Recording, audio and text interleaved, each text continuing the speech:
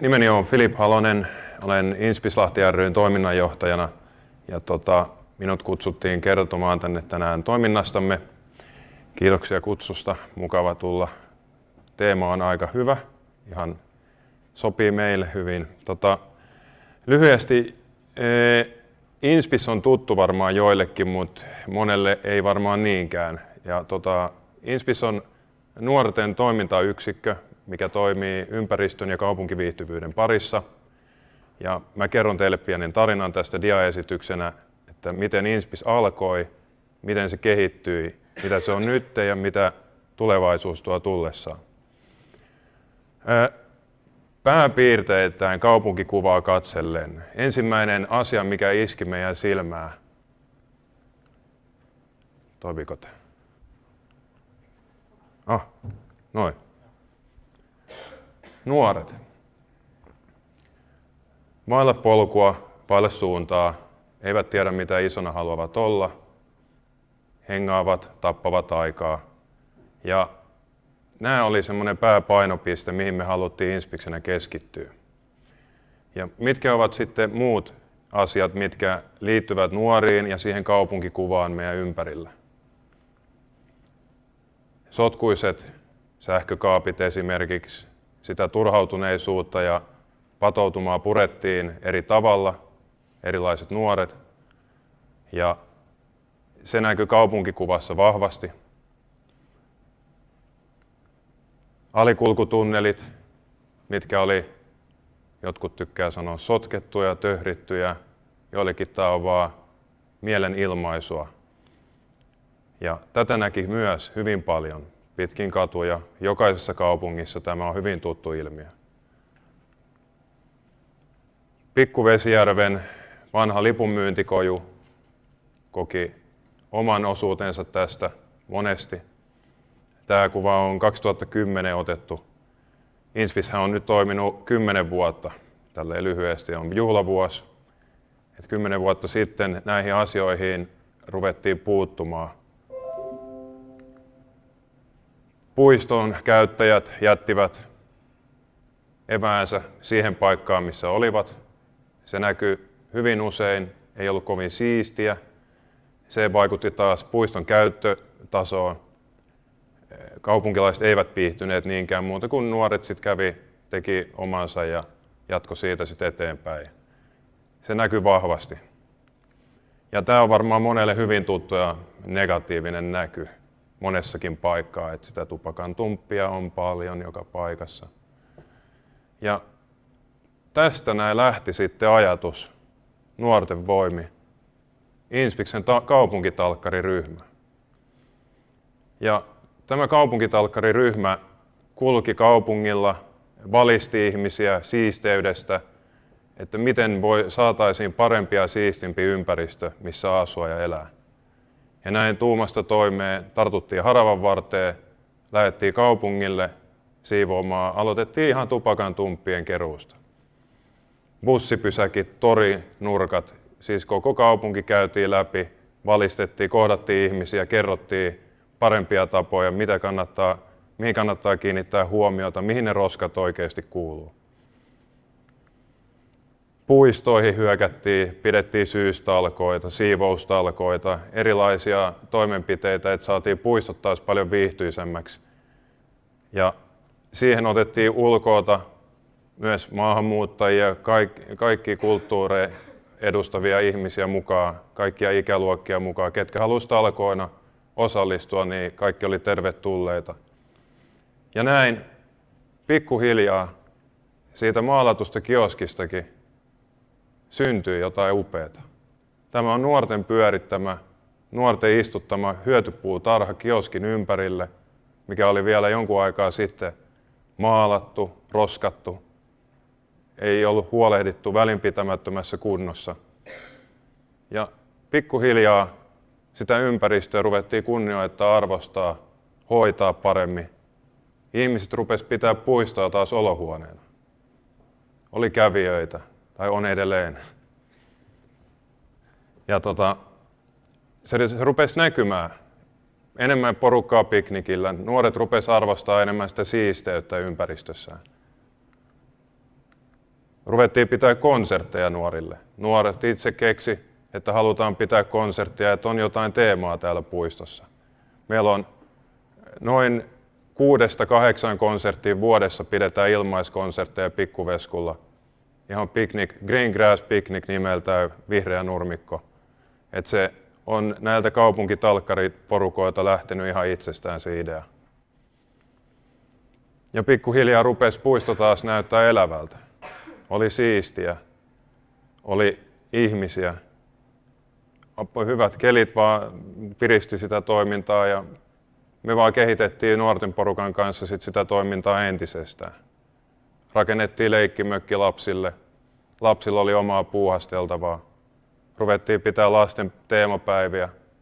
Lasten ruokailusunnuntai Lahti on yksi ainoista kaupungeista nämä jäljellä, jotka pitää lapsille ruokailusunnuntaita ilmaisruokailua. Ja sen ympärille sitten puuhasteltavaa. Puuhapiknikkejä. Ja kerran vuoteen me pidetään semmoinen full moon yöpiknikki, lapsiperheet voi tulla teltojen kanssa. Jäädään tuonne teltailemaan porukalla, pelataan jalkapalloa, lauletaan karaokea, nuotiotarinoita. Ihan semmoinen tosi lapsiläheinen tempaus kerran vuoteen. Ja näin siitä puistosta taas syntyi käyttökelpoinen käytännössä verrattuna siihen, mitä se oli pahimmillaan. Ja Tämä kaikki on näiden nuorten, ketkä oli mukana sotkemassa, välinpitämättömästi kohtelemassa puistoa, niin olivat yhtäkkiä itse tekemässä tätä puistoa paremmaksi paikaksi. Ja tässä meille Pikkuvesku on yksi kahdesta puistosta, joille myönnettiin tämä Green Flag Award. Ja Britanniasta tuli ihminen katsomaan puiston kuntoa. Ja tässä on viherpalvelu Hyvöiset ja meidän porukka ja tota, Tekyn porukka siinä niin ottamassa tätä kunniaosoitusta vastaan. Ja nyt kahtena vuotena tämä on myönnetty. Et katsotaan, tuleeko kolmantena vuotena nyt vielä uudestaan. Ja sitten meillä on tämmöinen ympäristöaiheinen tietovisailu. Haluatko miljöönääriksi joka vuotinen ysiluokkalaisille pidetään koulukiertue ja voittajaryhmä saa kesätyöpaikan meiltä ja noin 500 euron sekin kahden viikon työstä. Eli kaksi tonnia neljälle. Ja nämä nuoret tulee sitten meidän kanssa tekemään tätä kaupunkitalkkaritoimintaa, että vähän istutetaan sitä ajatuksen jyvästä jo niin hyvää kouluikäisistä asti ylöspäin. Kaupunkikuvassa se rupesi pikkuhiljaa näkyy kanssa. Tässä on ravintola Tirra ja Torven terassin ympäristö. Betoniporsaat muuttuikin istutuslaatikoiksi. Tämä on meidän ihan bravuuri. Meillä on nyt tulossa, tässä on tämä Euroopan Green Capital viimeistä vuotta Lahti on mukana, niin Aleksanterikatu täytetään näillä istutuslaatikoilla. Tehtiin tämmöinen tempaus, että yrittäjät houkuteltiin hommaamaan palvelun meiltä, rakennetaan, kustomoidaan heidän väreillä ja logoilla istutuslaatikot heidän eteen, tota, firmojen eteen ja meidän kaupunkitalkkariporukka hoitaa sit sitä koko kesän. Ja tälleen me halutaan jalostaa ja edistää tätä kaupunkiviljelykulttuuria ja kaupunkitalkkaritoimintaa. Sähkökaapit muutti muotoaan. Yhtäkkiä ne taiteilijat, katutaiteilijat, jotka oli tussi kädessä, niin olikin pensseli kädessä sit maalaamassa luvallisesti niitä kaappeja uuteen kuntoon. Ja näitä näkee yllättävän paljon Lahden kaupungissa nykyään. Et joka vuosi niitä tulee 20-60 laatikkoa lisää. Riippuu miten paljon meillä on tekijöitä sinä vuonna. Päädyt. Tämä on pumppaamon semmoinen harmaa seinusta. Tuossa pitäisi näkyä ovet, mutta tuossa näkyykin Lahden kaupunki, maisema, tämmöinen panoraama, taideteos. Ja tälleen me värjättiin harmaat pinnat uuteen uskoon, mitkä istuu kaupungin imagoon paljon paremmin kuin se sotku ja harmaus. Ja näin tunnelistakin syntyi tämmöinen galaksin taideteos. Tunneleita maalataan joka vuosi kahdesta kolmeen, aina lisätään enemmän ja enemmän väriä kaupunkiin. Ja annetaan nuorille taiteilijoille mahdollisuus käyttää vähän näitä, tätä pintaa omana CVnään että tuoda sitä taitoa oikeasti esille ja luvallisesti. Ja tässä on semmoinen jännä hierarkinen juttu, että kun näitä taideteoksia tulee sähkökaappeihin ja tunneleihin, niin niiden päälle ei tule kukaan sotkea. Ne pysyy sellaisina. Sitä arvostetaan ja kunnioitetaan. Ja se on semmoinen iso valtti tässä hommassa. Ja tämän kunniaksi me ollaan joka vuosi nyt järjestetty urbaanikulttuurin tapahtuma Skate and Spray Day, missä on toistakymmentä seinää.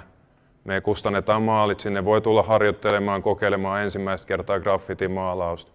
Siellä on konkareita maalaa näyttää, että miten tämä homma luonnistuu osaavilta tyypeiltä.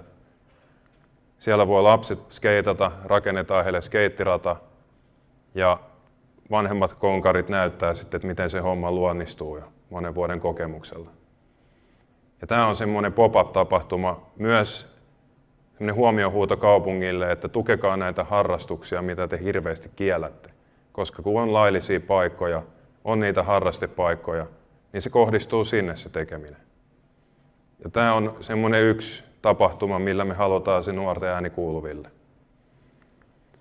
Syksyllä sitten puisto muuttaa väriään, saa vähän valoa pimeyteen, valoviikko, Pikkuvesijärvellä viritellään valoja puihin ja tehdään semmoinen viikon tempaus, että viikon sammutetaan kaikki katuvalot pois päältä ja omilla värivaloilla koristellaan puut ja kadut vähän syksyiseen mukavaan tunnelmaan vielä viimeisen kerran ennen talviteloille puiston laittoa.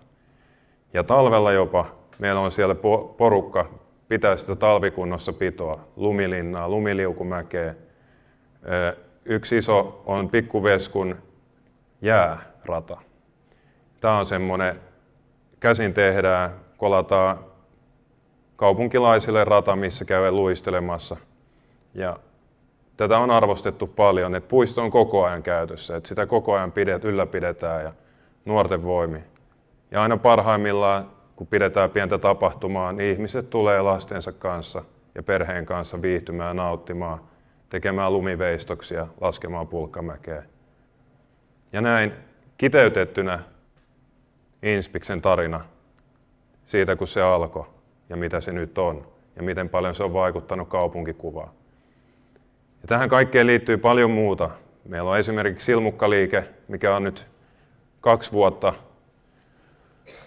sitä on tehty ja nyt taidenäyttely odottaa, mutta semmoinen virkkaamalla parempi tulevaisuus, eli otettu koko kaupunki mukaan, virkattu ketjusilmukkaa 100 kilometriä Narinkatorille asti. Ja Narinkatorilla pidettiin semmoinen, jokainen silmukka on kannanosoitus nuorisotyöttömyydelle. Ja tota, haastettiin sitten, siellä oli politiikkoja puhua nuorisotyöttömyydestä ja syrjäytymisestä, että mitkä on ne ongelmakohdat, miten siihen aiotaan vaikuttaa.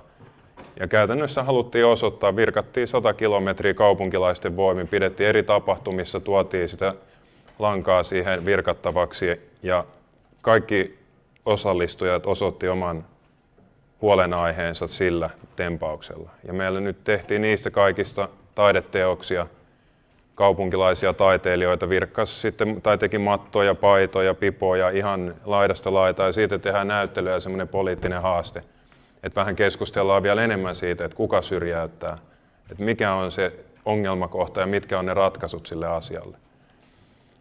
Ja tämä kaikki alkoi ihan vaan siitä, että oli liikaa nuoria työttömänä.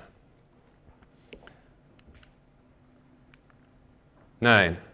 Ja ajattelin, että nyt mä jätän teille, toivottavasti teille tuli paljon kysymyksiä, koska mä oon valmistautunut vastailemaan niihin sitten tämän tarinan myötä. Ja tota, aloitetaan vaikka, jos jollain olisi joku kysymys, mitä haluatte täsmentää.